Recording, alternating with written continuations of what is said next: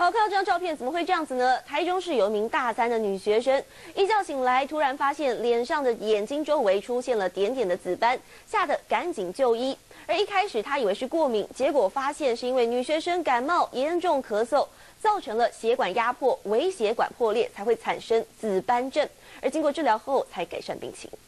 皮肤白皙、漂亮的一张脸蛋儿，张同学却差点毁容。一觉醒来，发现脸上紫斑点点，简直像历史上的丑女钟无艳，真的是被自己吓到，赶快就医。就是不痛不痒，但是就是很明显的那个红红斑，看起来很恐怖。我那时候都还要戴着口罩，虽然其实是遮住下面，也没遮住眼睛，可是就会觉得这样好像好多了。原本还以为过敏，甚至有医生怀疑他罹患了血液肿瘤。转诊大医院之后，医生问诊发现张同学感冒已久，严重咳嗽，才诊断他患的是好哭型紫斑症。咳嗽或者是小孩子的哭泣，或者是其他的呕吐，都会这样子。比较严重的淋巴癌，或者是那个会致命的裂淀粉沉淀。